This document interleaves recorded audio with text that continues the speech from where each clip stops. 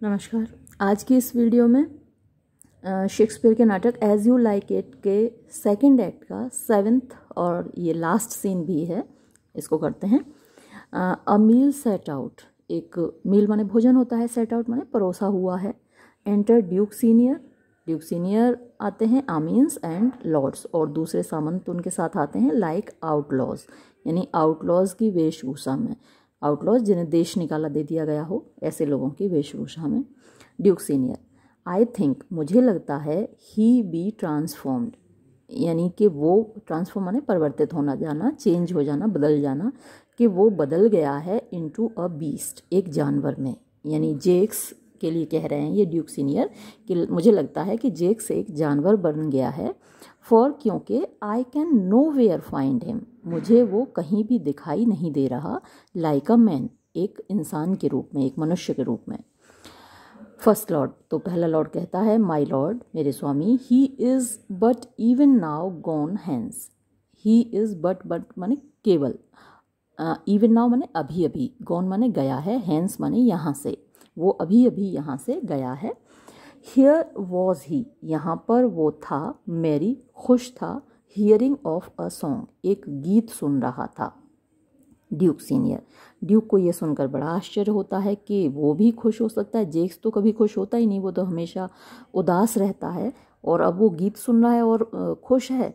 Duke senior if he अगर वो compact of jars compact माने भरा हुआ है. ऑफ़ जार्स माने सनक से, उदासियों से ग्रो म्यूज़िकल, अगर वो म्यूज़िकल हो गया, वो संगीतमय हो गया जो जार्स होते हैं मतलब कि जो सनक होती है, ऐसे टूटे फूटे विचार होते हैं। और म्यूज़िक, उसमें तो एक लय होती है, एक हारमनी होती है। तो अगर ऐसा व्यक्ति, जिसमें कि सारा कन्फ्यूज़न भरा हुआ है, वो म्यूज़िकल हो गया, उसके अंदर हारमनी पैदा हो गई है we shall shortly we shall have shortly shortly माने जल्दी ही. वी शैल हैव हमें देखने को मिलेगा डिस्कॉर्ड माने टकराव इन द स्फीयर्स माने ग्रहों में. तो जब ऐसा व्यक्ति जो कि कभी शांत नहीं रह सकता हारमोनियस नहीं हो सकता म्यूज़िकल नहीं हो सकता, ऐसा व्यक्ति जब म्यूज़िकल हो गया तो इसका मतलब जो कि हमेशा हारमोनी में रहते हैं, जो स्फीयर्स हैं, वो अपने अपने गति से फिक्स्ड उनका टाइम है घूमने का, चलने का, और एक दूसरे से अलग ही रहते हैं। तो अगर ऐसा व्यक्ति म्यूज़िकल हो गया है तो फिर इसका मतलब जो स्फीयर्स हैं प्लानट्स हैं, वो जल्दी ही आपस में टकराएँगे। गो सीक हिम जाओ, उसको तलाश करो टेल हिम उसको बताओ I would speak with him कि मुझे उससे बात करनी है। First lord he saves me labour उसने तो मेरी परेशानी बचा दी, मेरा कष्ट बचा दिया, यानी कि मैं उसे ढूँढने जाता तो उसमें मुझे परेशानी होती तो उसने मेरी ये परेशानी बचा दी बाय हिज ओन अप्रोच खुद ही आकर, अपनी खुद के आगमन से. अप्रोच माने अराइवल तो अपने खुद के आगमन से उसने मेरी परेशानी बचा दी. एंटर जेक्स जेक्स प्रवेश करता है. Duke senior why how now monsieur ओ हो, क्यों? कैसे हो, श्रीमान जी? What a life is this ये क्या ज़िंदगी है? दैट योर पुअर फ्रेंड्स के आपके बेचारे दोस्त must woo your company must woo यानी उन्हें खुशामद करनी पड़ रही है योर कंपनी आपके साथ के लिए, आपकी संगति के लिए. वॉट यू लुक मैरीली अरे, क्या बात है? तुम तो बड़े खुश दिखाई दे रहे हो. जेक्स अ फूल अ फूल एक मूर्ख एक मूर्ख। आई मैट अ फूल मैं एक मूर्ख से मिला मतलब कि एक जोकर से मिला, मजाकिए, मस्खरे से मिला इन द फॉरेस्ट जंगल में। अ मोटले फूल मोटले जो कि जोकर वाली पोशाक पहने रहते हैं, जिसमें कई सारे कलर्स होते हैं। आपने देखी होगी जोकर का जो कपड़े होते हैं, वो भी बड़े फ़नी होते हैं। उनमें कई सारे कलर्स होते हैं। तो ए मोटले फूल मुझे एक विदूषक वाला जो पोशाक है ड्रेस है, वो पहने हुए मुझे एक जोकर मिला। अ मिजरेबल वर्ल्ड ये बड़ा दुखद संसार है। As I do live by food जैसा कि मैं आई डू लिव मैं ज़िंदा हूँ बाई फ़ूड भोजन पर। यानी हर व्यक्ति भोजन पर ही ज़िंदा है तो जैसा कि ये बात सच है जितनी कि मैं भोजन खाकर ही ज़िंदा हूँ। आई मेट अ फ़ूड उतनी ही ये बात सच है कि मैं एक जोकर से, एक विदूषक से मिला। हु लेड हिम डाउन जिसने लेड हिम डाउन यानी अपने आप को लिटा रखा था, यानी कि जो लेटा हुआ था एंड बास्ड हिम बास्क माने धूप सेकना, और धूप सेक रहा था इन द सन यानी खुले सूरज के नीचे एंड रेल्ड और आलोचना कर रहा था ऑन लेडी फॉर्च्यून जो भाग्य की देवी है, उसकी आलोचना कर रहा था इन गुड टर्म्स माने अच्छे अच्छे शब्दों में। इन गुड सेट टर्म्स अच्छे सेट चुने हुए शब्दों में एंड यट और फिर भी अ मोटले फूल वो एक विदूषक की पोशाक पहने हुए था, वनी फनी ड्रेस पहने हुआ था। गुड मॉरो फूल शुभ प्रभात जोकर, कोथाई, मैंने कहा। नो सर, नहीं श्रीमान जी, कोथी, उसने कहा। कॉल मी नॉट फूल, मुझे मूर्ख मत पुकारो, टिल जब तक के हेवन सेंट मी यानी ईश्वर मुझे भेज न दे या स्वर्ग मेरे पास भेज न दे फॉर्च्यून यानी सौभाग्य। तो उसका कहने का मतलब ये है कि जो फॉर्च्यून होता है या फिर दौलत होती है, वो मूर्खों के पास होती है इस दुनिया में। भले लोगों के पास नहीं होती है। तो वो ये कह रहा है कि तब तक मुझे मूर्ख मत कहो जब तक कि भाग्य या ईश्वर मेरे पास फॉर्च्यून ना भेज दे, सौभाग्य ना भेज दे, दौलत ना भेज दे। एंड देन और तब ही ड्रू अ डायल उसने ही ड्रू माने उसने निकाली अ डायल माने एक घड़ी फ्रॉम हिज पोक माने कि अपनी जेब से एंड लुकिंग ऑन इट और उसको देखते हुए with lacklustre eyes lacklustre जिनमें चमक की कमी थी, ऐसी आँखों से उसको देखते हुए सेज बोला वेरी वाइजली बड़ी बुद्धिमानी से it is ten o'clock ये लो दस बज गए, दस वी में सी, ऐसा ही हमको दिखाई देता है, को थी, उसने कहा हाउ द वर्ल्ड वेग्स कि किस तरीके से ये संसार चलता है। टिज बट एन आर एगो। टिज ये था, बट केवल एन आर एगो, एक घंटा पहले, सिंस इट वॉज़ नाइन, कि ये नौ बजे थे। एक घंटे पहले ही देखो, घड़ी में नौ बजे थे, और अब देखो, दस बज गए। And after one hour, more और एक और घंटे बाद, इट विल बी इलेवन, ग्यारह बज जाएँगे।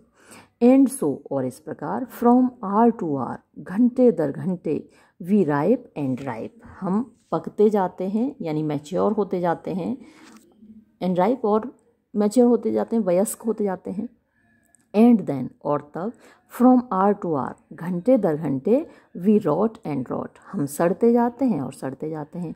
तो एक समय तक तो हम मैच्योर होते हैं, उसके बाद हमारा डाउनफॉल शुरू हो जाता है. तो जैसे जैसे बुढ़ापा बढ़ता जाता है तो ऐसा लगता है कि जैसे हम सड़ रहे हैं जैसे कि कोई फल है आम है तो कुछ दिनों तक तो वो पक्का रहता है पकता जाता है पकता जाता है लेकिन और भी ज़्यादा अगर उसको छोड़ दिया जाए तो फिर वो सड़ना शुरू हो जाता है। तो यही बात वो कह रहा है कि घंटे दर घंटे पहले तो हम पकते हैं हम वयस्क होते हैं मैच्योर होते हैं और उसके बाद फिर हमारा डाउनफॉल शुरू हो जाता है। कितनी मीनिंगफुल बातें हैं आप देख रहे हैं। आ, उसके बाद हम सड़ने लगते हैं। एंड देयर बाय और इस प्रकार हैंग्स अ टेल एक कहानी चलती जाती है। वेन आई डिड हियर जब मैंने सुना द मोटले फूल उस मोटले फूल यानी उस विदूषक को जोकर को दस इस प्रकार moral on the time moral माने नैतिक बातें कहते हुए दार्शनिक बातें कहते हुए ऑन द टाइम समय के बारे में माई लंग्स मेरे फेफड़े बिगेन टू क्रो यानी कौंकने लगे, बोलने लगे लाइक अ चेंटी क्लियर ये मुर्गे का नाम होता है, मुर्गे को बोलते हैं। तो मुर्गे की तरह, और क्रो माने वैसे कौआ होता है, लेकिन मुर्गे की जो आवाज़ होती है, वो भी क्रो कहलाती है। तो मुर्गे की तरह मेरे फेफड़े बांग देने लगे। मुर्गा बांग देता है। That fools should be so deep के जो फूल्स हैं, जो मूर्ख हैं शुड बी वो हो सकते हैं सो डीप इतने गहरे। कंटेम्पलेटिव माने विचारशील थॉटफुल यानी इतने गहरे विचार एक मूर्ख के हो सकते हैं। एंड आई डिड लैफ और मैं हंसने लगा। सांस सांस का मतलब होता है विदाउट बिना। इंटरमिशन माने रुकना बीच में तो बिना रुके मैं हंसने लगा। An hour by his dial, एक घंटे तक बाय हिज डायल उसकी घड़ी को लगाकर, यानी उसकी घड़ी से देखकर लगातार एक घंटे में हंसता रहा सांस इंटरमिशन माने बिना रुके। ओ नोबल फूल, अरे कितना बढ़िया मूर्ख, कितना बढ़िया जोकर, ओ वर्दी फूल, अरे कितना लायक जोकर था, विदूषक था, मस्खरा था। Motley is the only wear, motley यानी जो विदूषक की ड्रेस है कलरफुल ड्रेस है। इज़ द ओनली वियर वही एकमात्र पहनने लायक ड्रेस है। यानी मैं पसंद करूँगा।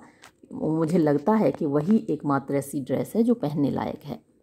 Duke Senior, what fool is this? कौन सा जोकर है ये? कौन सा विदूषक है भाई? जेक्स, ओ, वर्दी फूल। अरे, कितना लायक मस्खरा था। One that hath been a courtier one एक ऐसा विदूषक है ये दैट हैथ बीन जो रहा है अ कोर्टियर, एक दरबारी। एंड सेज और कहता है if ladies be but young and fair if ladies अगर महिलाएँ भी होती हैं बट केवल यंग युवा एंड फेयर और ख़ूबसूरत। अगर लड़कियाँ, महिलाएँ, युवा और ख़ूबसूरत होती हैं दे हैव द गिफ्ट तो उनके अंदर गिफ्ट यानी उनके अंदर फीलिंग आ जाती है टू नो इट इसको जानने की। मतलब कि वो कॉन्शियस हो जाती हैं, वो इस बात को लेके सचेत हो जाती हैं कि वो खूबसूरत हैं और जवान भी हैं। तो महिलाओं में ये ऐसी फीलिंग आ जाती है, चेतना आ जाती है, वो इस बात को लेकर कॉन्शियस हो जाती हैं। एंड इन हिज ब्रेन और उसके दिमाग में विच इज़ एज ड्राई जो कि ऐसा सूखा हुआ था एज द रिमेंडर बिस्किट जितना कि बचा हुआ बिस्किट होता है आफ्टर अ वॉयज वॉयज होता है समुद्र यात्रा. एक समुद्र यात्रा के बाद he hath strange places crammed he hath उसके दिमाग में थी स्ट्रेंज प्लेसेस यानी अजीब अजीब बातें. प्लेसेस माने वैसे जगह होती हैं तो अलग अलग जगहों से उठाई हुई बातें दिमाग में स्थान क्या स्थानों के बारे में बात ही होगी ना? तो ही है हैथ स्ट्रेंज प्लेसेस उसके दिमाग में आ, अजीब बातें हैं क्रेम्ड माने ठूसी हुई भरी हुई। विद ऑब्जर्वेशन ऑब्जर्वेशन माने ध्यान होता है ध्यान से देखना अवलोकन करना। तो उसने अलग अलग चीज़ों का अवलोकन किया है ऑब्जर्वेशन किया है और इसी वजह से उसके दिमाग में चीज़ें भरी हुई हैं। द विच जिन चीज़ों को, जिन बातों को ही वेंट्स माने वो एक्सप्रेस करता है, अभिव्यक्त करता है, इन मैंगल्ड फॉर्म्स मैंगल्ड आप यानी मिली जुली एक दूसरे से उलझी हुई फॉर्म्स आकृतियों में। आकृतियों में मतलब कि सेंटेंसेस में एक बात से दूसरी बात दूसरी बात से तीसरी बात जोड़ता चला जाता है, क्योंकि उसने बहुत सारी चीज़ों का ऑब्जर्वेशन किया है, अवलोकन किया है। ओ दैट अरे काश आई वर अ फूल मैं भी एक विदूषक होता, मैं भी एक जोकर होता. आई एम एम्बिशियस मैं महत्वाकांक्षी हूँ फॉर अ मोटले कोट एक विदूषक के कोट के लिए, यानी उसकी ड्रेस के लिए, उसके गारमेंट के लिए. काश मुझे उसकी पोशाक मिल जाती. Duke Senior thou shalt have one हाँ हाँ तुमको मिल जाएगी. Jaques it is my only suit अब यहाँ स्यूट की दो मीनिंग होते हैं। एक तो स्यूट होता है रिक्वेस्ट होती है अल्तज़ा है मुकदमा है और सूट जो पहना जाता है। तो ये मेरा एकमात्र रिक्वेस्ट है या फिर यही मेरा एकमात्र सूट है जो मुझे पहनना है ड्रेस है। Provided that you weed your better judgments provided that यानी शर्त ये होगी कि यू वीड वीड माने तो हटा देना होता है। वीड खरपतवार को बोलते हैं और खरपतवार को तो हटा दिया जाता है फ़सल से। You weed your better judgments better माने बेहतर जजमेंट माने होता है विवेक अच्छा बुरा सोचने, समझने की जो शक्ति होती है, ताकत होती है, वो जजमेंट कहलाता है। तो तुम्हारा जो विवेक है जो बुद्धि है उसको अगर तुम वीड माने साफ़ कर दो जो खरपतवार उसमें उगे आया है आ, उनको अगर तुम हटा दो। ऑफ़ ऑल ओपिनियन यानी खरपतवार किस चीज़ को नाम दे रहा है? उन सारे विचारों को। ओपिनियन माने राय होती है राय या विचार। तो वो सारी जो राय हैं तुम्हारी जो सारे विचार हैं दैट ग्रोज जो कि उग आए हैं रैंक माने बुरे जो बुरे विचार उगाए हैं इन दैम उसमें, यानी तुम्हारी बुद्धि में, तुम्हारे दिमाग में, और वो बुरे विचार क्या हैं? दैट आई एम वाइज कि मैं बुद्धिमान हूँ। तो वो बुरे विचार तुम हटा दो कि मैं बुद्धिमान हूँ, मैं बुद्धिमान नहीं हूँ। आई मस्ट हैव लिबर्टी मुझे आज़ादी मिलनी चाहिए। विदल, इसके साथ यानी मैं जो विदूषक की ड्रेस पहनना चाहता हूँ, उसके साथ मुझे आज़ादी मिलनी चाहिए। एज लार्ज इतनी विशाल आज़ादी, इतनी ज़्यादा आज़ादी एज कैरेक्टर जितनी कि होती है। कैरेक्टर माने जो कि क्वालिटी होती है, जो कि विशेषता होती है, जो कि खासियत होती है एज द विंड हवा की। तो हवा आज़ाद है, कहीं भी आ जा सकती है, उसको कोई रोक तो सकता नहीं है। तो मुझे भी ऐसी ही आज़ादी चाहिए। टू ब्लो ब्लो माने बहना, हवा के बहने को। ब्लो बोलते हैं, पानी के बहने को। फ्लो बोलते हैं। तो टू ब्लो माने बहने की ऑन होम उस व्यक्ति के ऊपर आई प्लीज़ जिसके ऊपर बह के मुझे खुशी मिले। तो हवा का जिधर मन करता है, जिसके ऊपर जिधर चलने की या जिसके ऊपर चलने की उसकी इच्छा होती है, वो उधर ही चल लेती है। तो मुझे भी ऐसे ही आज़ादी मिले। अब यहाँ टू ब्लो का मतलब है टू क्रिटिसाइज़ आलोचना करने की। या मज़ाक बनाने की। तो मुझे भी आज़ादी मिले कि मैं जिसका चाहूँ उसका मज़ाक बना सकूँ। एक जोकर है, वो किसी का भी मज़ाक बना देता है। आपने देखा होगा कि कपिल शर्मा शो पर लोग आते हैं और किसी का भी मज़ाक बना दिया जाता है। ज़्यादातर लोग वहाँ बुरा नहीं मानते। कोई एक दो एक्सेप्शन रहा होगा जो किसी ने बुरा माना होगा। ज़्यादातर कपिल शर्मा किसी का भी मज़ाक बनाता है। और उसमें जितने कलाकार हैं, सभी का मज़ाक बना देते हैं, लेकिन कोई बुरा नहीं मानता उसमें। तो अब यहाँ पर वही कह रहा है जेक्स कि to blow on whom I please मुझे मज़ाक बनाने का या आलोचना करने का आज़ादी हो जिसकी भी मैं चाहूँ। For so fools have for क्योंकि सो इसी प्रकार फूल्स हैव जो जोकर लोग होते हैं, जो विदूषक होते हैं, उनके पास आज़ादी होती है। And they that are most galled and they और वो लोग दैट आर जो कि हों मोस्ट सर्वाधिक गोल्ड माने क्रिटिसाइज्ड और वो लोग जिनकी सबसे ज़्यादा आलोचना हो विद माई फॉली मेरी मूर्खताओं से, मेरी मज़ाक से, जिनकी सबसे ज़्यादा मज़ाक बने आलोचना हो दे मोस्ट मस्ट लाफ उन्हीं को सबसे ज़्यादा हंसना चाहिए। एंड वाई सर और क्यों श्रीमान जी? मस्त दे सो क्या ऐसा ही होना चाहिए? The why is plain as way to parish church और जो वाई है, जो क्यों है, वो एज प्लेन मतलब एकदम साफ़ है एज जिस तरह के द वे रास्ता टू पेरिस चर्च गाँव में जो चर्च होता है, या कहीं कहीं मंदिर है जहाँ हिंदुओं के गाँव हैं, वहाँ गाँव में मंदिर है और जो क्रिश्चियंस के गाँव हैं, उनमें चर्च है। तो जैसा कि सीधा रास्ता, सपाट रास्ता होता है चर्च जाने के लिए वैसे ही ये जो वाय है, ये जो क्यों है, ये जो सवाल है, वो साफ़ है, सीधा है, सपाट है। He that a fool doth wisely hit doth very foolishly he जिसको के ही दैट अ फूल डथ जो जिसको कि एक विदूषक वेरी वाइजली बहुत बुद्धिमत्ता से हिट माने मारता है मतलब कि आलोचना करता है क्रिटिसाइज करता है, उसका मज़ाक बनाता है।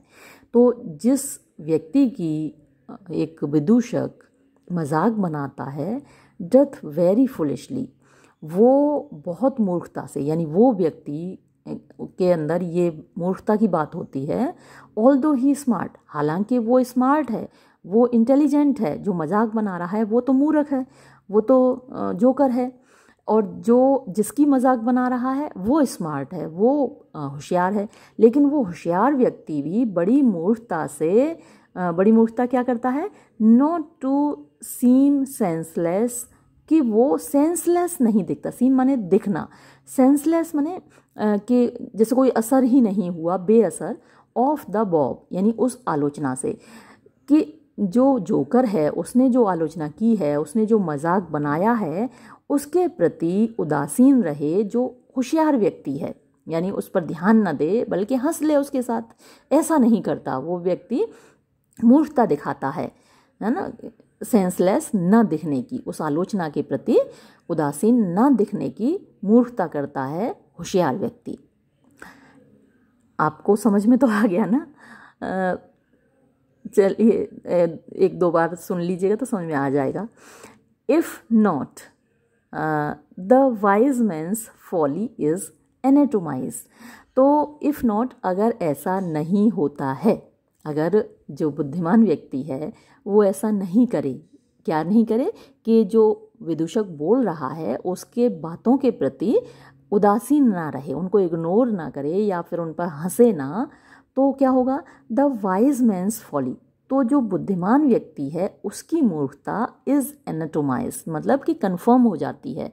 पक्की हो जाती है कि हाँ ये ज़रूर ये जो आदमी है बुद्धिमान नहीं है। ये खुद मूर्ख है। Even by the squandering glances of the fool even यहाँ तक कि बाय द स्क्वेंडरिंग माने इधर उधर पड़ने वाली ग्लांसेस माने नज़र से ऑफ़ द फूल, यानी मूर्ख की, जोकर की। इन्वेस्ट मी, यानी मुझे पहना दो, इन माई मोटले। मेरी मोटले, यानी जो जोकर वाली ड्रेस है, वो मुझे पहना दो। गिव मी लीव, और मुझे आज़ादी दे दो।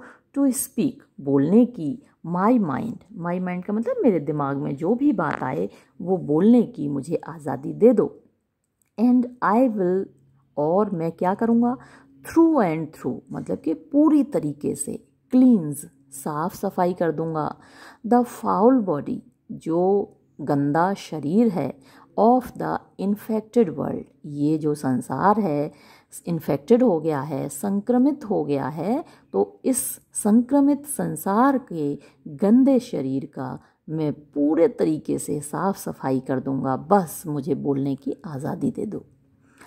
If they will patiently receive my medicine if यदि मतलब शर्त ये होगी दे वो, यानी कि इस संसार के लोग विल पेशेंटली धैर्य से रिसीव माने प्राप्त करेंगे, ग्रहण करेंगे माई मेडिसिन मेरी दवाई को। तो जब इन्फेक्शन हो जाता है तो दवाइयाँ दी जाती हैं और दवाइयाँ बड़ी कड़वी होती हैं।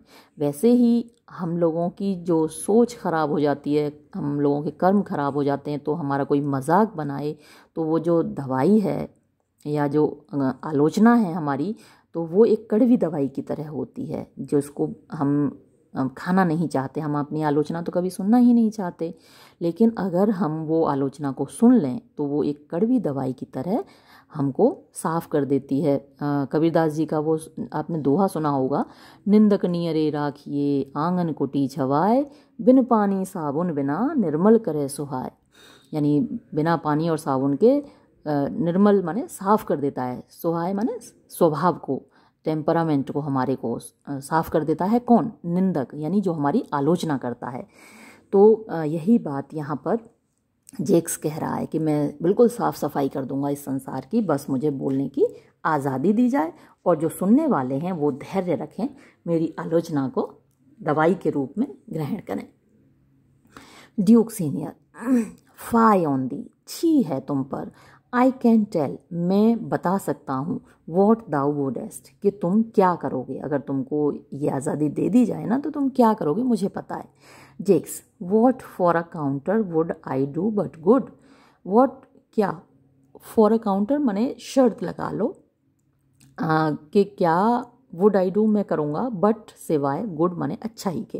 तो मैं सिवाय अच्छाई के क्या करूँगा? आप शर्त लगा लो। Duke Senior most mischievous foul sin most सबसे ज़्यादा मिस्चीवियस शैतानी से भरा हुआ फाउल माने गंदा सिन माने पाप। इन चाइडिंग सिन चाइडिंग माने फटकारने में सिन माने पाप को। यानी तुम पापी को या पाप को फटकार के या उसकी आलोचना करके तुम सबसे बड़ा पाप करोगे। क्यों? फॉर क्योंकि दाव तुम दाई सेल्फ खुद हैस्ट बीन रहे हो अ लिबर्टन लिबर्टन माने आवारा विलासी तो तुम तो खुद ही बड़े विलासी रहे हो भोग विलास में लिप्त रहे हो, आवारा रहे हो। एज सेंसुअल मतलब जो अपनी इंद्रियों को वश में नहीं रख सकता, उसकी इंद्रियों को हर वक्त मतलब आँखें कुछ देखना चाहती हैं, कान कुछ सुनना चाहते हैं, जीव कुछ खाना चाहती है तो तुम तो पहले ही इतने सेंसुअल रहे हो, इतने विलासी रहे हो as the brutish sting self as जितना कि ब्रूटिश यानी जानवरों वाला स्टिंग माने डंग सेल्फ खुद है। यानी जो जानवर हैं उनकी क्या इच्छाएँ होती हैं? दिमाग उनका ज़्यादा तो चलता नहीं। उनको भरपेट भोजन मिल जाए पानी मिल जाए सो जाए खाना पीना सोना यही तो उनका आ, होता है डिमांड पूरी। तो तुम तो खुद ही ऐसे सेंसुअल रहे हो। अपनी इंद्रियों की जो डिमांड है उनकी पूर्ति करने वाले। एंड ऑल और सारा द एम्बॉस्ड एम्बॉस्ड माने फूले हुए, सूजे हुए, सोर्स माने घाव एंड हेडेड हेडेड माने जिनके फोड़े निकले आए हैं ईविल्स माने बुराइयाँ। और जो तुम्हारी बुराइयाँ हैं, तुम्हारे शरीर में जो फोड़े निकल आए हैं, तुम्हारे दिमाग में जो फोड़े निकल आए हैं, जो बुराइयाँ हैं, जो कि फूल रही हैं दैट दाव विद लाइसेंस दैट दाव जिनको कि तुमने दैट का आया है ईविल्स के लिए, बुराइयों के लिए, जिनको के दाव माने तुमने विद लाइसेंस अपनी आज़ादी से, अपनी उच्च श्रृंखलता से और फ्री फुट फ्री फुट माने आवारा पने की जो तुम्हारी आज़ादी रही है, हेस्ट कॉट माने तुमने पकड़ लिया है। किनको पकड़ लिया है? बुराइयों को। बुराइयाँ तुम्हारे स्वभाव में आ गई हैं। क्यों आ गई हैं? क्योंकि तुम फ्री फुट रहे हो मीन्स आवारा ऐसे ही घूमने वाले रहे हो, कुछ भी कर लिया, कुछ भी खा लिया, उस तरीके के रहे हो। तो अब तुम इन बुराइयों को, जो कि एक फोड़े का रूप ले चुकी हैं और उनके हेड्स मुँह ऊपर बन गए हैं, उनको तुम क्या करोगे? वो डेस्ट दाउ डिस्गोर्ज डिस्गोर्ज माने होता है फोड़े को, जो फोड़ा निकल आया ना, उसको फोड़ के, है ना? फुंसी को, फोड़े को फोड़ के, उसका पस निकाल देने को डिस्गोर्ज बोलते हैं। तो तुम अपनी इन बुराइयों के वो डिस्गोर्ज माने उनका पस निकाल दोगे, उनकी गंदगी निकाल दोगे इनटू द जनरल वर्ल्ड आम संसार में। इस पूरे संसार को तुम अपनी बुराइयों से ही भर दोगे, क्योंकि तुम्हारे अंदर ही इतनी बुराइयाँ हैं, और वो एक फोड़े का रूप ले चुकी हैं, उनमें से पस निकलेगा और इस संसार को और भी गंदा कर देगा। जेक्स वाई क्यों हु क्राइज आउट जो आलोचना करता है ऑन प्राइड घमंड की that can therein tax क्या वो देयर इन उसमें, यानी अपनी उस आलोचना में टैक्स माने आलोचना करता है क्रिटिसाइज करता है या आरोप लगाता है एनी प्राइवेट पार्टी किसी प्राइवेट माने व्यक्तिगत पार्टी यानी कि मनुष्य पर, किसी एक व्यक्ति पर थोड़ी वो आरोप लगा रहा है। अगर कोई ये कह रहा है कि भाई घमंड बुरी चीज़ है, घमंड नहीं करना चाहिए या घमंडी का सिर नीचा होता है तो अगर कोई इस तरीके से घमंड की आलोचना कर रहा है तो क्या वो किसी विशेष व्यक्ति पर आरोप लगा रहा है? किसी विशेष व्यक्ति की आलोचना कर रहा है? डथ इट नॉट फ्लो क्या ये नहीं निकलता है? ये जो आलोचना है, ये नहीं फैलती है, तैरती है? एज ह्यूजली इतने विशाल तरीके से एज द सी जितना के समुद्र होता है। तो ये तो एक सामान्य आलोचना है। तो ये तो समुद्र की तरह फैली हुई है। तो वो फैलती रहती है टिल जब तक कि दैट द वियरर यानी जो धारण करने वाला, जिसके अंदर घमंड भरा हुआ है वियरर्स वेरी मीन्स डू एव जब तक कि उसके खुद के मीन्स संसाधन डू एव एव माने जो नीचे नहीं आ जाते, यानी उसका घमंड जब तक नीचे नहीं आ जाता तब तक ये जो आलोचना है, वो ऐसे ही फैलती रहती है। वॉट वुमन कौन सी औरत इन द सिटी शहर में डू आई नेम मैं नाम ले रहा होता हूँ, मैं कौन सी औरत का नाम ले रहा होता हूँ शहर की वैन जब। दैट आई से जब मैं ये कहता हूँ द सिटी वुमन शहर की औरत बियर्स धारण करती है द कॉस्ट, कीमत ऑफ़ प्रिंसेस, राजकुमारियों की ऑन अनवर्दी शोल्डर्स, अनवर्दी नलायक, जो योग्य नहीं है, अयोग्य शोल्डर्स कंधों पर।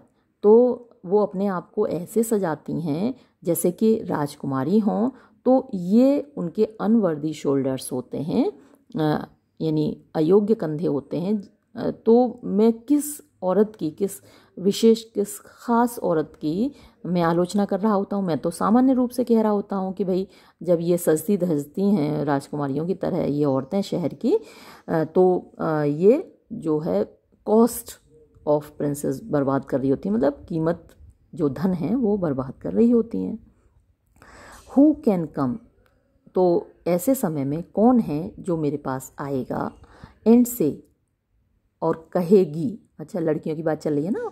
तो कौन ऐसी महिला है, कौन ऐसी लड़की है जो मेरे पास आएगी और कहेगी दैट आई मीन हर कि मेरा मतलब उससे था।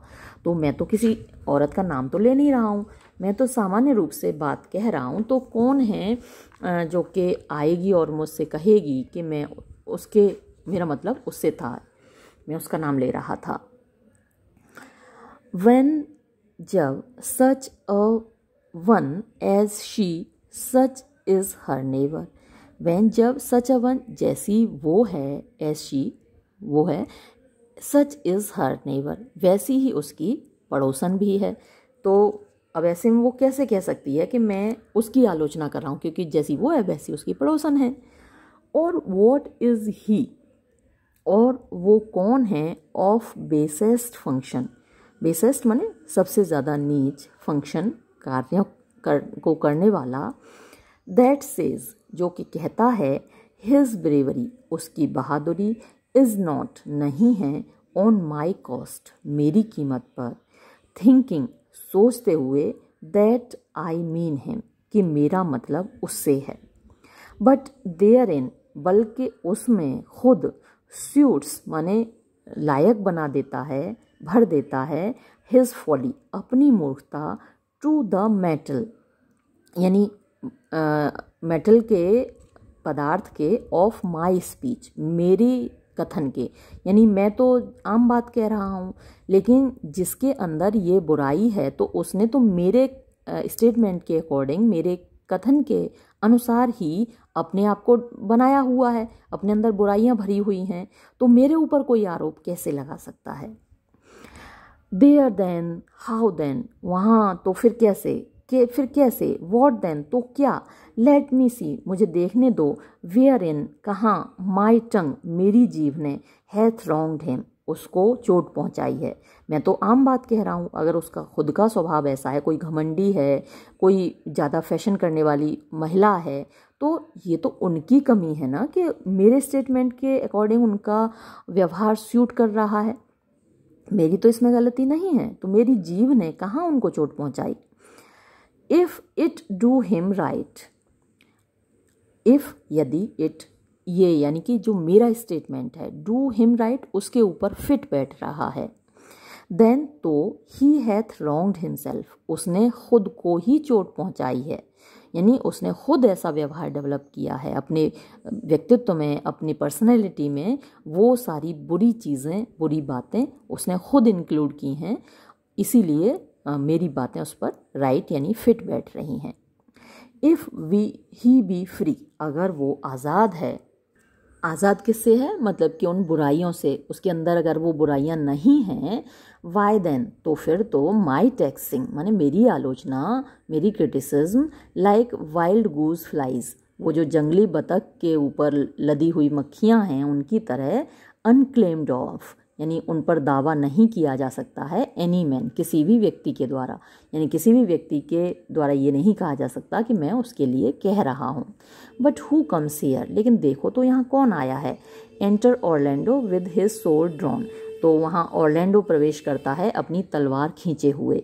Orlando forbear and eat no more forbear माने रुक जाओ एंड ईट नो मोर और बिल्कुल भी अब मत खाना। Jaques why I have eat none yet लेकिन क्यों भाई? मैंने तो अभी तक कुछ खाया ही नहीं है। ऑर्लैंडो नोर सेल्ट नॉट, और ना ही तुम खाओगे। Till necessity be served. जब तक कि नेसेसिटी माने आवश्यकता बी सर्व्ड, उसकी पूर्ति ना कर दी जाए। यानी एक, और व्यक्ति है जिसको खाना आवश्यक है, जब तक कि उसकी सेवा ना हो जाए, तब तक आप लोगों में से कोई नहीं खाएगा। Jaques, of what kind?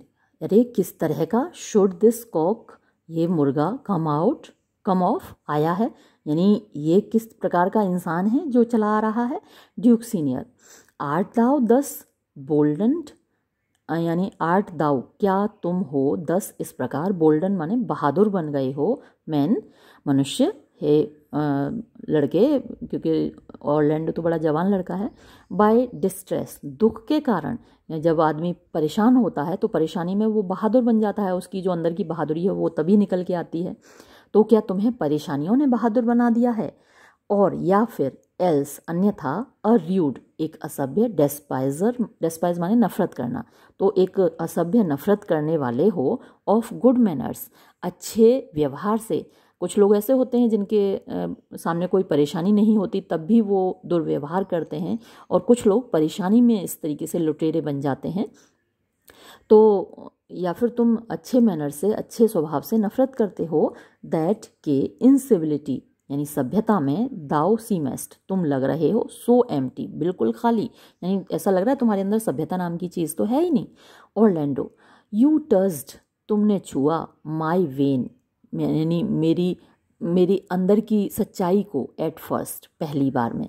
यानी जब तुमने ये बात कही कि मुझे परेशानियों ने ऐसा बना दिया है, इतना बहादुर बहादुर क्या लुटेरा बना दिया है, तब तुमने सही बात कही थी। यू टर्स्ड माई वेन यानी तुमने मेरी सच्चाई जान ली थी एट फ़र्स्ट पहले तो। द थॉर्नी माने कांटेदार पॉइंट सिरा ऑफ़ बेयर डिस्ट्रेस बेयर खाली डिस्ट्रेस माने दुख। तो जो खाली दुख भरा हुआ है मेरे जीवन में, उसके कांटे, यानी उसकी जो नोक है पॉइंट माने नोक है, उसके कांटों की नोक हैथ टेकन फ्रॉम मी उसने मुझसे छीन लिया है द शो यानी दिखावा ऑफ़ स्मूथ सिविलिटी स्मूथ माने चिकना चुपड़ा होता है सिविलिटी सभ्यता होती है। तो अब चिकना चुपड़ा मतलब अच्छा व्यवहार, अच्छी बातें। तो जो अच्छी सभ्यता होती है, विनम्रता होती है, वो सब मुझसे छीन लिया है परेशानियों ने, मेरे दुखों ने। यट एम आई फिर भी मैं हूँ इनलैंड माने ज़मीन के अंदर, यहाँ जंगल में नहीं, बल्कि शहर में ब्रेड माने पला बढ़ा हूँ। मैं यहाँ जंगल में पला बढ़ा नहीं हूँ, यानी जंगली नहीं हूँ। मैं शहरी हूँ और वहीं पला बढ़ा हूँ। एंड नो और जानता हूँ सम नर्चर कुछ सभ्यता, कुछ सिविलिटी मैं जानता हूँ। बट लेकिन फॉर वियर रुक जाओ आई से मैं कह रहा हूँ ही डाइज वो मारा जाएगा दैट टचेस जिसने छुआ। एनी ऑफ़ दिस फ्रूट इन फलों में से एक भी फल जिसने छुआ वो मारा जाएगा। टिल जब तक कि आई मैं एंड माई अफेयर्स और और मेरे मामले आर आंसर्ड माने उनकी पूर्ति ना हो जाए। मैं और जो मेरी आवश्यकता हैं, अगर उनकी पूर्ति होने से पहले किसी ने यहाँ एक फल भी छुआ तो वो मारा जाएगा।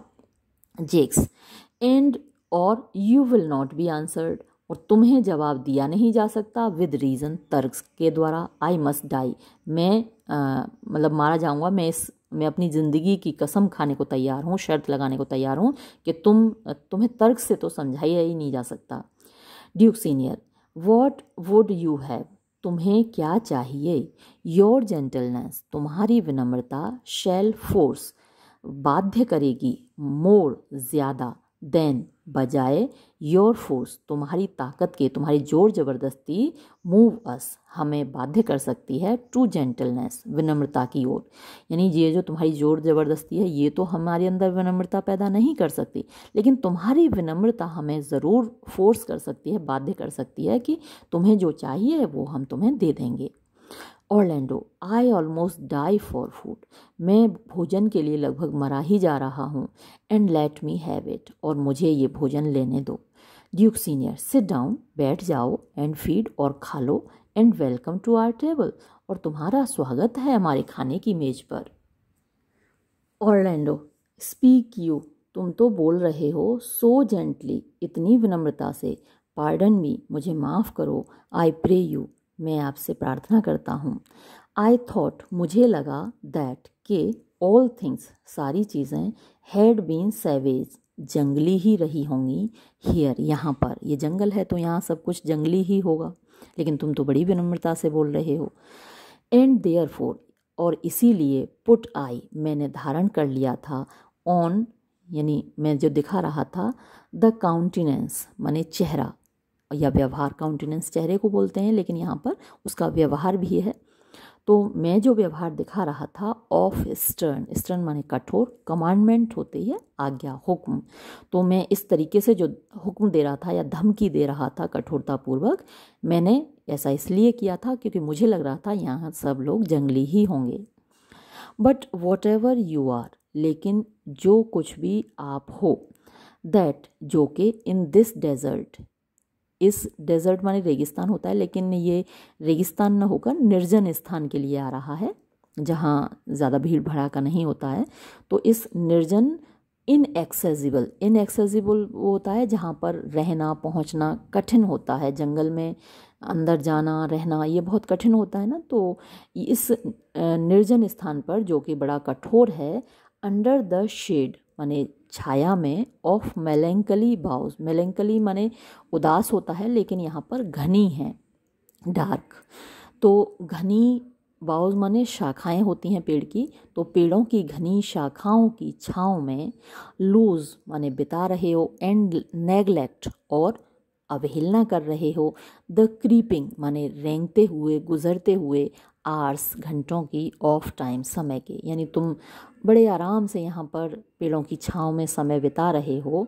इफ़ एवर अगर कभी यू हैव लुक्ड आपने देखा है ऑन बेटर डेज़ बेहतर दिनों को। इफ़ एवर बीन अगर आप कभी भी रहे हो वेयर वहाँ पर, जहाँ पर के बेल्स घंटियाँ हैव नॉल्ड बजती हैं टू चर्च चर्च में।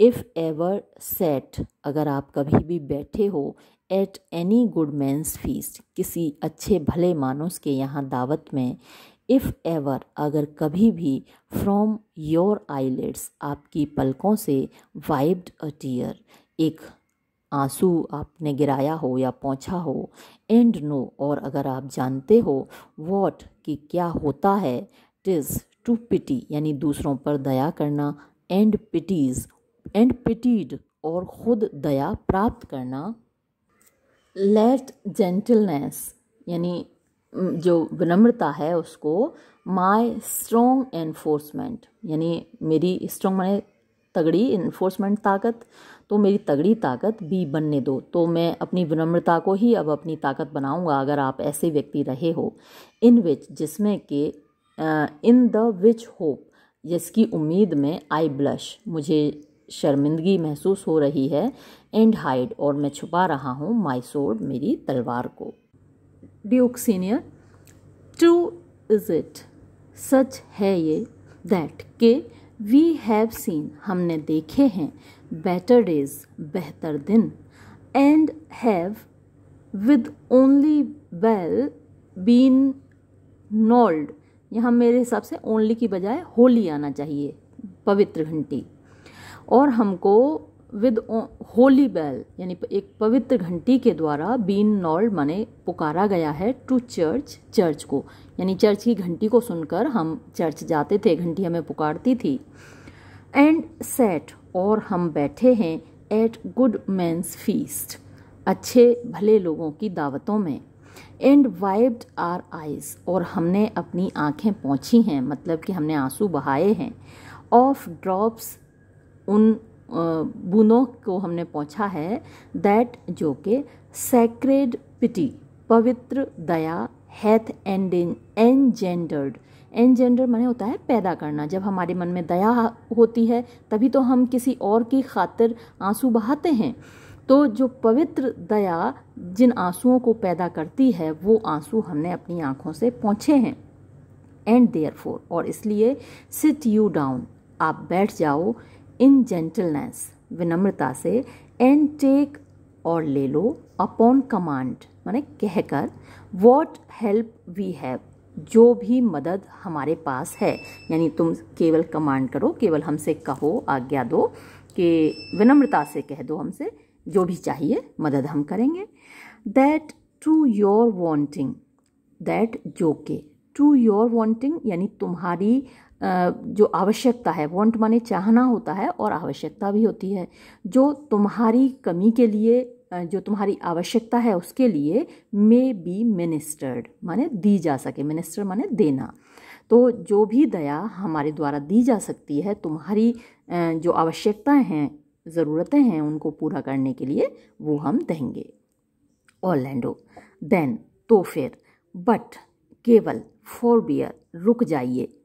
योर फ़ूड अपने भोजन को मतलब रोक लीजिए टिल अ लिटिल वाइल थोड़ी देर के लिए।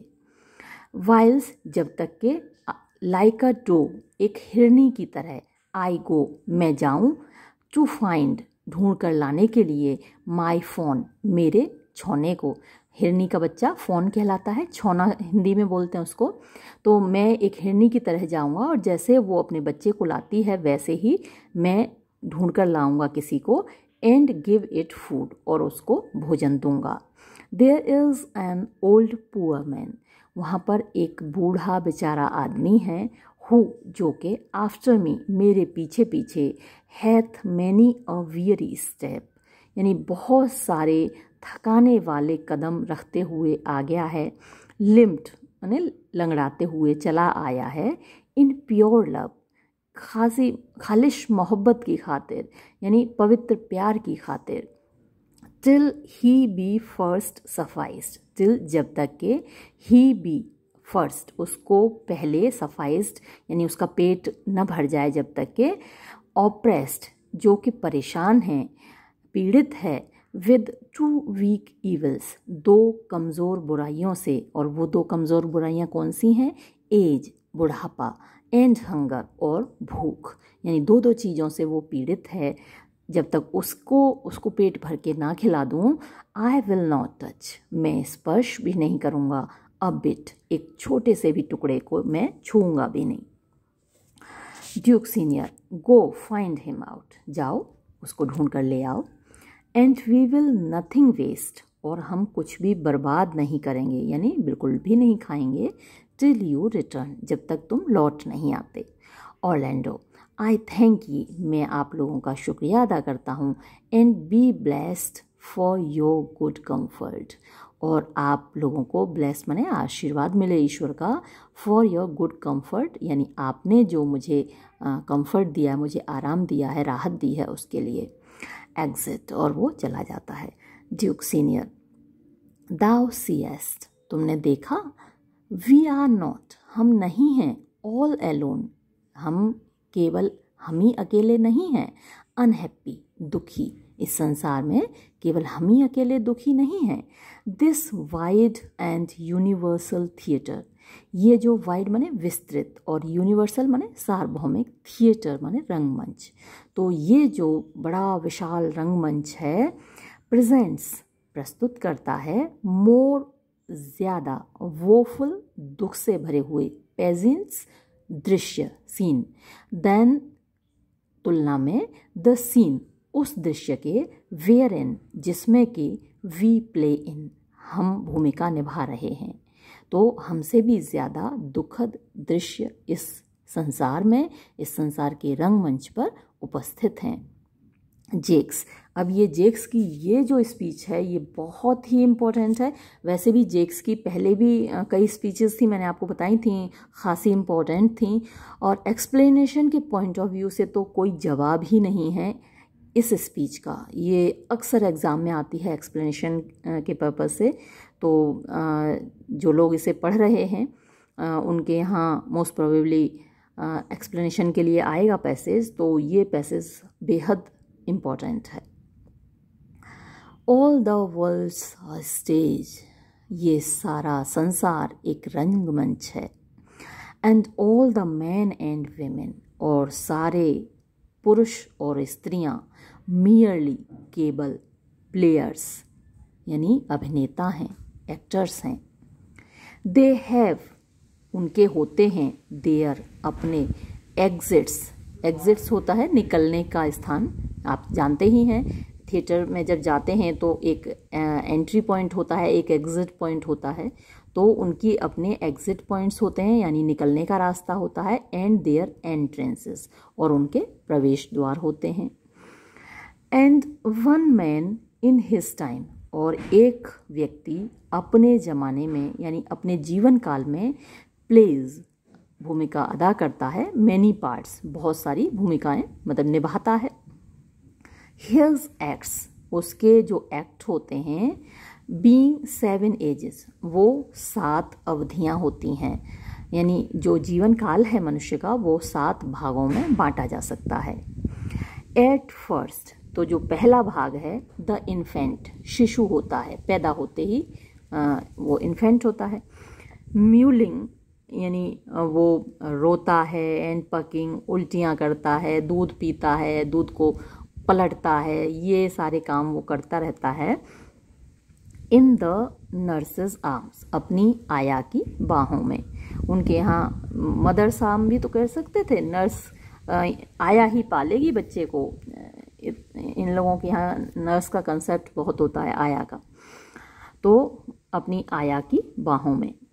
Then the whining schoolboy then तब द वाइनिंग माने बड़बड़ाता हुआ। रोता हुआ स्कूल बॉय स्कूल का बच्चा। तो जब शैशवावस्था ख़त्म होती है तो बच्चे को स्कूल भेजा जाता है। और स्कूल तो आप जानते ही हैं रो रो के जाते हैं बच्चे पिट पिट के जाते हैं मारना पीटना पड़ता है मम्मी पापा को। पापा तो खैर नहीं मारते बच्चों को मम्मियाँ बहुत मारती हैं जब वो स्कूल नहीं जाते हैं। आप लोगों का भी एक्सपीरियंस रहा होगा मेरा भी रहा है। तो आ, फिर वाइनिंग स्कूल बॉय तो वो रोता हुआ भिनभिनाता हुआ स्कूली बच्चा विद हिज सैचल। सैचल होता है स्कूल का बस्ता। तो अपने बस्ते के साथ एंड शाइनिंग और चमकते हुए मॉर्निंग फेस, सुबह के चेहरे के साथ। उसका चेहरा आपको मालूम है, बच्चे का चेहरा कितना चमकता हुआ, कितना खूबसूरत होता है। तो अपने खूबसूरत चमकते हुए सुबह जैसे चेहरे के साथ क्रीपिंग रेंगता है लाइक स्नेल स्नेल होता है घोंगा और घोंगा बहुत धीरे चलता है बहुत ही धीरे चलता है। तो जब कोई बहुत धीरे चलता है तो हम उसको कहते हैं कि भाई क्या स्नेल स्पेस पे चल रही हो, है ना? Walking at a snail's pace मतलब कि बहुत धीमे चलना।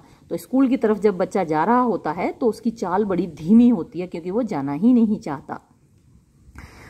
तो क्रीपिंग लाइक स्नेल यानी एक घोंघे की तरह चलता हुआ अनविलिंगली अनिच्छा से टू स्कूल स्कूल को। वैसे तो जोक का टाइम नहीं है। अक्सर मैं अपनी क्लास में जोक सुना देती हूँ। मेरा मुझे इसको देख के ना एक जोक याद आया। चलो आ, मन कर रहा है सुनाने का तो सुन लीजिए। एक आ, कैदी होता है उसका फैसला सुना रहे होते हैं जज साहब। और वो कैदी कहता है कि, सर, मैं गाड़ी बहुत धीरे चला रहा था और मैंने इस आदमी को टक्कर नहीं मारी है, ये आदमी ही मेरी गाड़ी से टकराया है। तो जज साहब बोले कि, भाई, इस बात का क्या प्रमाण है कि तुम गाड़ी धीरे चला रहे थे? तो वो कहता है कैदी कि, सर, मैं अपनी बीवी को लेने उसके मायके जा रहा था। तो जस्सा बोले हाँ फिर तो सवाल ही नहीं कि तुम तेज चला रहे होगे। भाई, आज़ाद करो इस कैदी को और उसको बरी कर देते हैं जज साहब। तो जो समझ में आई गया होगा, अपनी बीवी को लेने जा रहा है तो जल्दी कोई जल्दबाजी नहीं होती उसको बीवी को लेने जाने की। तो इसी तरीके से ये जो बच्चा है अपने थैले को लेकर उसे कोई जल्दी नहीं है स्कूल जाने की, और वो बहुत धीरे एक घोंघे की तरह चलता है। अनविलिंग, यानी अनिच्छुक होता है टू स्कूल स्कूल जाने के लिए। एंड देन और तब द लवर वो एक प्रेमी होता है। एक स्कूल वाली अवस्था चली गई बचपन की। उसके बाद फिर वो एडोलसेंस बनता है करीब उसकी सोलह, सत्रह, अठारह साल की अवस्था होती है तो उसके बाद वो लवर बनता है, प्रेमी बनता है। और जब प्रेमी बनता है, तब उसकी हालत कैसी होती है? साइंग आहें भरते हुए लाइक फर्नेस भट्टी की तरह। आहें भरता है विद अ वो फुल बैलेड वो फुल मैंने दुख से भरी हुई बैलेड गीत लिखता है बैलेड एक गीत होता है। तो वो प्यार में सब शायर बन जाते हैं आपको, ये तो पता ही है। जब मोहब्बत होती है तो सारे लड़के शायर बन जाते हैं। तो वो भी शायर बन जाता है और दुख से भरी हुई, दर्द दिल से भरी हुई बैलेट्स लिखता है। Made to his mistress eyebrow और उस बैलेड का सब्जेक्ट मैटर क्या होता है? हिज मिस्ट्रेस आईब्रो मतलब उसकी जो महबूबा है, उसकी खूबसूरती पर वो कविताएँ लिखता है। दन शोल्डर सॉरी सोल्जर तो महबूबा की खूबसूरती वो बयां करता है जवानी में मतलब युवावस्था में जब नया नया यूथ बना होता है, चाहे महबूबा कैसी भी हो, उसको बहुत खूबसूरत लगती है। फिर वो बनता है सैनिक then a soldier full of strange oaths और फिर वो भर जाता है बड़ी अजीब अजीब ओट्स होती हैं कसमें। And bearded like a pard beard माने दाढ़ी निकल आती है लाइक अ पार्ट एक तेंदुए की तरह। तो वो थोड़ा सा रफ हो जाता है, एक तेंदुए की तरह। जेलस बड़ा ईर्ष्यालु हो जाता है इन ऑनर सम्मान के लिए। यानी किसी दूसरे को ऑनर मिल जाए मेडल मिल जाए, और उसे मेडल नहीं मिला तो बड़ा जेलस फील करता है वो। सडन सडन माने फास्ट अचानक से काम करने, लेने वाला रैश बिना सोचे समझे काम करने वाला। क्विक इन क्वेरल और बड़ी जल्दी में क्वेरल माने झगड़ा झगड़ा तो मोल ले लेता है। चलते फिरते झगड़ा मोल ले लेता है, ये उसकी आदत होती है। सीकिंग तलाश करता है द बबल उस बुलबुले को रेप्यूटेशन जिसका नाम है प्रसिद्धि, नाम नाम की खातिर वो जान गंवा देता है। Even in the cannon's mouth तो रेप्यूटेशन को वो कहाँ तलाश करता है? कैनन के मुँह में भी। कैनन माने तोप होती है। तो तोप के मुँह में भी वो जाने के लिए तैयार रहता है किसकी खातिर? नाम की खातिर। एंड देन द जस्टिस और फिर वो क्या बनता है? जस्टिस यानी न्यायाधीश बनता है। और एक न्यायाधीश के रूप में क्या कंडीशन होती है उसकी? In fair round belly fair अच्छी खासी। राउंड माने गोल मटोल बैली माने पेट। फिर उसका अच्छा खासा गोल मटोल, पेट निकल आता है। आपने देखा होगा आदमी लोगों का, महिलाओं का भी। एक निश्चित अवधि के बाद पेट निकल आता है, मोटे हो जाते हैं थोड़े तो उसकी फेयर अच्छी खासी राउंड, माने गोल मटोल बेली पेट होता है, तोंद होती है। विद गुड केपन लाइंड और वो जो पेट है, उसमें क्या भरा होता है? गुड अच्छा खासा केपन होता है, मुर्गा। लाइंड मतलब उसकी लाइन बनी होती है, क्योंकि वो मुर्गा उसने ढूंस के खाया होता है। भाई हम लोगों के यहाँ तो नहीं खाया जाता हम तो ज़्यादातर शाकाहारी हो, होते हैं तो अंडा भी हमारे यहाँ वर्जित होता है। लेकिन ये जहाँ का है यूरोप का है और वहाँ पर लोगों को रिश्वत के रूप में मुर्गा दे दिया जाता था खाने के लिए। अक्सर जो जज लोग होते थे न्यायाधीश होते थे उनको रिश्वत के रूप में मुर्गा दे दिया जाता था। तो ये जो in fair round belly with good capon lined तो अच्छे खासे मुर्गों की उसमें लाइन लगी है उसके पेट के अंदर। और इसीलिए उसका जो पेट है वो तोंद है, गोल मटोल है।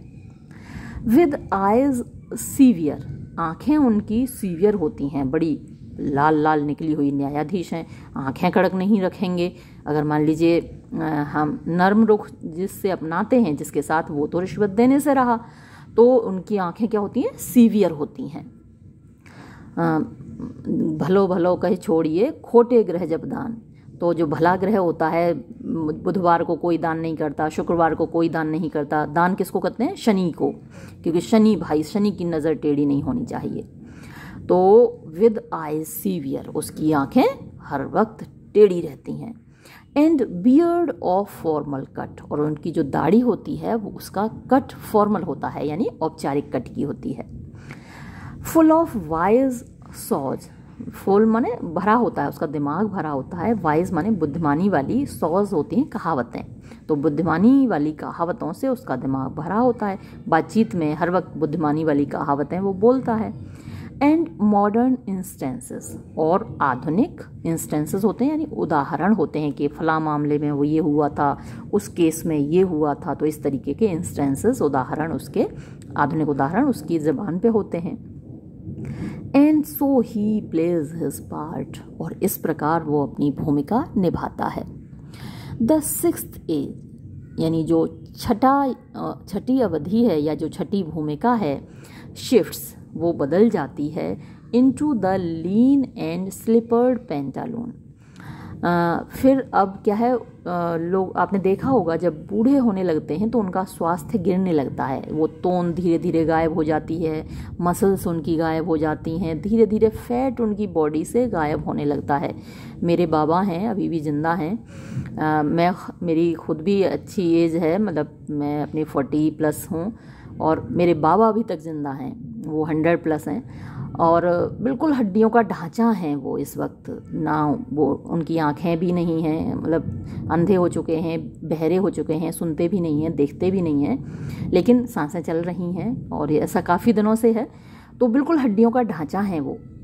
तो अब जो है, डाउनफॉल शुरू हो जाता है सिक्स एज में, जो छठा जो भूमिका है उसमें। तो द सिक्स एज शिफ्ट्स जो छठा छठी अवस्था है, वो शिफ्ट होती है, यानी स्थान बदलती है। इनटू द लीन माने हल्के, फुल्के, दुबले एंड स्लिपर्ड यानी जो सरकने वाले पेंटालून पतलून। तो जो उनके पतलून हैं, अब वो सरकने लगते हैं, ढीले होने लगते हैं। विद स्पेक्टिकल्स और उनके चश्मा लग जाता है ऑन नोज़ उनकी नाक पर चश्मा रख जाता है। अब तो चश्मा खैर हमारे यहाँ छोटे छोटे बच्चों के लग जाते हैं। एंड पाउच ऑन साइड और एक थैला पाउच लटक जाता है ऑन साइड उनकी कंधे पे, एक साइड को उनके एक थैला लटक जाता है। हिज यूथफुल हॉज उनकी जो यूथफुल माने, जवानी की हॉज ड्रेस है वेल सेव्ड जो कि वेल माने अच्छे तरीके से सेव्ड माने उन्होंने बचा कर रखी थी कि बाद में पहनेंगे। अब वर्ल्ड टू वाइड अब वो एक इतनी विस्तृत दुनिया हो जाती है। यानी अब उनका स्वास्थ्य तो वैसा रहा नहीं। और जो ये ड्रेस बनी थी वो यूथफुल थी, यानी युवावस्था में बनी थी और उन्होंने बचा कर रखी थी कि भाई बाद में पहनेंगे। और अब वो बहुत वाइड हो जाती है, उनके लिए बहुत ढीली हो जाती है, चौड़ी हो जाती है। For his shrunk shank shrunk माने सिकुड़े हुए शेंक टखने या उनकी जो टांगें हैं, वो सिकुड़ी हुई हैं तो उनकी जो पतलून है है ना, पैंट है या पजामा है, वो उनके सिकुड़ी हुई टांगों के लिए बहुत ढीला हो जाता है। And his big manly voice और उनकी जो बिग मैनली मतलब अच्छी खासी भारी भरकम मर्दों वाली आवाज़ थी टर्निंग अगेन फिर से बदलने लगती है toward childish treble toward money फिर से उसी तरफ़ जाने लगती है। चाइल्डिश मने बचकाना ट्रैवल मने कप कपाहट जैसे बचपन में बच्चों की आवाज़ होती है ना, तोतली सी आवाज़ होती है हकलाते हैं बच्चे, तुतलाते हैं तो वैसी ही फिर से होने लगती है। आपने देखा होगा कि बड़े बूढ़े लोग ढंग से बोल नहीं पाते जैसे जैसे बुढ़ापा आता जाता है तो वो बोलना कुछ चाहते हैं, मुँह से कुछ निकलता है। पाइप्स एंड विसल्स तो ऐसा लगता है कि जैसे वो कोई सीटी बज रही हो, पाइप बज रहा हो, इन हिज साउंड उनकी आवाज़ में। क्योंकि मुँह पोपला हो जाता है, दांत उखड़ जाते हैं तो जो हवा है, मुँह से मतलब ढंग से नहीं निकलती तो आवाज़ उनकी हकलाहट आ जाती है। लास्ट सीन ऑफ़ ऑल और जो अंतिम दृश्य है, सातवां दृश्य दैट एंड्स जो कि ख़त्म कर देता है। दिस स्ट्रेंज ये जो विचित्र इवेंटफुल माने घटनाओं से भरा हुआ हिस्ट्री इतिहास है। तो अंतिम दृश्य पर ये नाटक ख़त्म होता है, ये ड्रामा ख़त्म होता है। इज़ सेकेंड चाइल्डिशनेस तो वो फिर से दूसरा बचपना होता है। यानी दूसरा शैशवावस्था जैसे आ जाती है। एंड मियर ओब्लिवियन और वो केवल भुलक्कड़पना होता है ओब्लिवियन विस्मृति बोलते हैं हिंदी में तो वो सब कुछ जैसे भूल जाता है। आपने देखा होगा आ, मेरे बाबा भी सब कुछ भूल चुके हैं अब उनको आ, मैं बता नहीं सकती अगर उनसे मिलने जाती हूँ तो वो समझते ही नहीं कि सुलेखा आई है मिलने। जब उनकी आँखें गई थी तो हम उनके हाथ पर लिख देते थे कि मैं अपना नाम लिखती थी सुलेखा तो वो बोलते थे, अरे, सुलेखा आई है। लेकिन अब उनकी हालत ये है कि उनके हाथ पर हम लिखते भी हैं तो वो जान नहीं पाते क्योंकि ओब्लिवियन हो गया है, यानी विस्मृति हो गई है, वो सब कुछ भूल चुके हैं। अब क्या है? सांस टीथ सांस माने विदाउट अब उनके दांत नहीं रहते। सांस आइज़ उनकी आँखें भी नहीं रहती, जैसे मेरे बाबा का हाल है, आँखें ही नहीं है। सांस टेस्ट अब उनको कोई स्वाद भी नहीं रहता। किसी चीज़ का स्वाद ही नहीं बता सकते, क्या खा रहे हैं, बस खा रहे हैं। सांस एवरीथिंग और विदाउट एवरीथिंग कुछ भी नहीं बचता है, सब ख़त्म सा हो जाता है, बस साँसें चल रही होती हैं। ये लास्ट सीन बिल्कुल मेरे बाबा की याद मुझे दिला रहा है। Reenter Orlando with Adam. अब ऑर्लैंडो एडम को लेकर यहाँ प्रवेश करता है। Duke senior, welcome. Set down yours venerable burden set down माने रख लीजिए, अपनी तशरीफ़ रख लीजिए, कहने का मतलब है योर आपका वेनरेबल माने रेस्पेक्टेबल बर्डन वज़न। तो अपना रेस्पेक्टेबल वज़न मतलब कि अपनी तशरीफ़ रख लीजिए एंड लेट हिम फ़ीड और उसको भोजन करने दीजिए और Orlando I thank you most for him मैं आपका बहुत शुक्रिया अदा करता हूँ उसकी खातिर, यानी कि एडम की खातिर. Adam so had you need so so, ऐसी ही हैड यू नीड तुमको आवश्यकता थी। यानी ऐसा ही तुमको करना भी चाहिए था। यानी मेरी तरफ़ से इन लोगों का शुक्रिया अदा करना चाहिए था। I scarce can speak scarce माने मुश्किल से ही। कैन स्पीक बोल पा रहा हूँ। मैं तो मुश्किल से ही बोल पा रहा हूँ।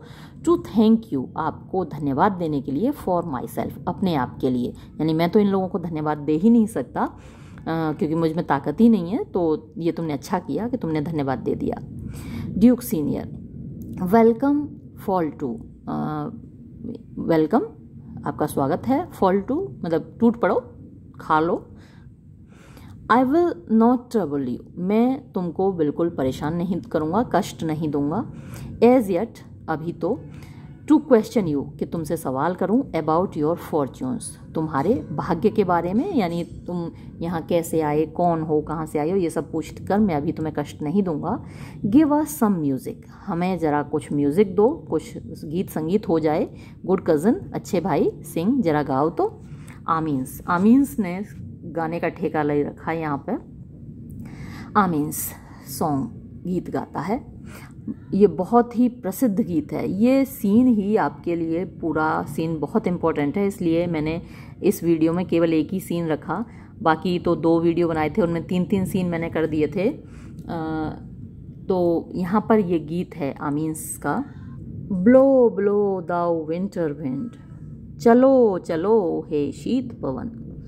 दाओ माने तुम विंटर मीन्स सर्दी की विंड हवा। तो तुम सर्दी की हवा तुम चलो। दाओ आर्ट नॉट तुम नहीं हो सो अनकाइंड इतनी निर्दयी।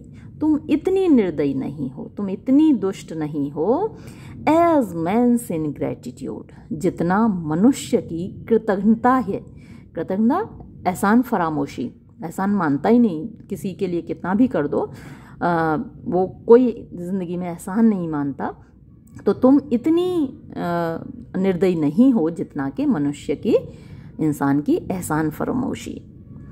दाई टूथ, तुम्हारा डंक, तुम्हारा दांत इज़ नॉट सो कीन कीन माने शार्प तो तुम्हारे दांत इतने शार्प नहीं हैं, इतने तीखे नहीं हैं बिकॉज़ क्योंकि दाव आर्ट नॉट सीन तुम तो दिखाई ही नहीं देती हो। ऑल दो हालाँकि दाई ब्रेथ बी रियूड तुम्हारी जो ब्रेथ है यानी तुम्हारी जो आ, महसूस होती है हवा बी रियूड वो बड़ी असभ्य है यानी बड़ी तीखी है बड़ी चुभती है। हे ho sing hey ho unto the green holly यानी ग्रीन हॉली ये एक पेड़ है तो चलो भाई इस पेड़ के साथ गाओ इस पेड़ के नीचे गाओ हरे भरे पेड़ के नीचे गाओ। Most friendship is feigning most ज़्यादातर फ्रेंडशिप दोस्ती इज़ फेनिंग माने दिखावटी होती है। फेन माने केवल कल्पना करना, दिखाना एज्यूम करना। तो ज़्यादातर जो दोस्ती है, वो दिखावटी होती है। मोस्ट लविंग मियर फॉली और ज़्यादातर जो लविंग माने मोहब्बत होती है, इश्क होता है मियर केवल फॉली माने मूर्खता होती है। तो ज़्यादातर मोहब्बत यहाँ मूर्खता होती है। धन हे हो द होली। हाँ तो गाओ भाई इस पेड़ के नीचे। This life is most jolly ये जो ज़िंदगी है, बड़ी खुशगवार है। जॉली माने खुशगवार।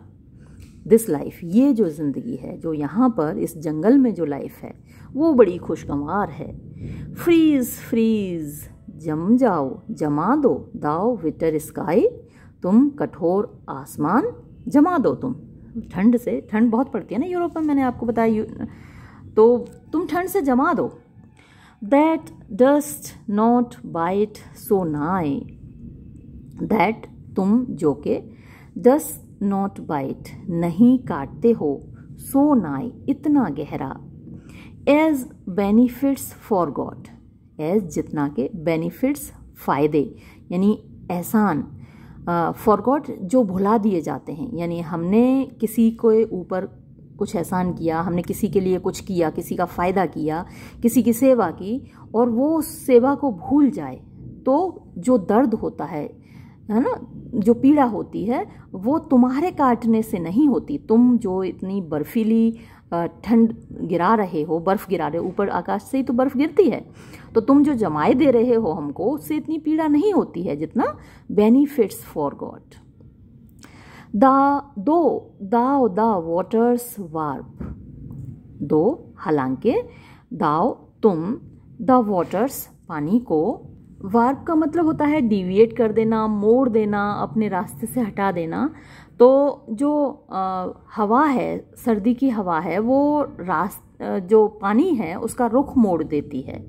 तो दो दाव दा वाटर्स वार्प हालाँकि तुम पानी का रुख मोड़ देती हो दाई स्टिंग तो भी तुम्हारा डंक इज़ नॉट सो शार्प इतना तीखा नहीं है। एज फ्रेंड जितना कि वो दोस्त रिमेंबर्ड नॉट जो हमें याद नहीं करता। हे हो सिंग हे ho unto the green holly यानी इस हरे भरे पेड़ के नीचे चलो गीत गाते हैं। Most friendship is feigning most loving mere folly इसका मतलब मैं पहले ही बता चुकी हूँ आपको। Then heigh ho the holly then तो फिर हाइट हो, यानी ये जो ऊँचा सा पेड़ है हॉली तो वो पेड़ का नाम है। तो इस ऊँचे से पेड़ के नीचे दिस लाइफ इज़ मो ऊँचे से पेड़ के नीचे ये जो ज़िंदगी है, वो मोस्ट जॉली बड़ी खुशगवार है, खुशी से भरी हुई है। Duke senior if that you were the good sir Rowland's son अगर तुम होते इफ़ दैट यू वर अगर तुम हो द गुड सर रोलासन अच्छे, भले मानो सरोला के बेटे एज यू हैव विस्पर्ड जैसा कि तुमने फुसफुसाया है फेथफुली वफादारी पूर्वक यूवर कि तुम हो। एंड एज माइन आई और जैसा कि मेरी आँखें डथ हिज एफिजीज एफिजीज का मतलब यहाँ हुआ सिमिलरिटीज़ तो उनकी जो समानताएँ हैं विटनेस देख रही हैं मेरी आँखें, यानी तुम्हारी शक्ल काफ़ी उनसे मिल रही है सररोला से. मोस्ट ट्रूली बहुत सच्चे तरीके से लिम्ड मतलब कि बनी हुई है, छाई हुई है and living in your face living दिख रही है इन योर फेस तुम्हारे चेहरे पर. बी ट्रूली वेलकम हिदर तो तुम्हारा सच्चे दिल से स्वागत है यहाँ पर. आई एम द ड्यूक मैं वो ड्यूक हूँ दैट लव्ड योर फादर जो तुम्हारे पिता से प्यार करता था।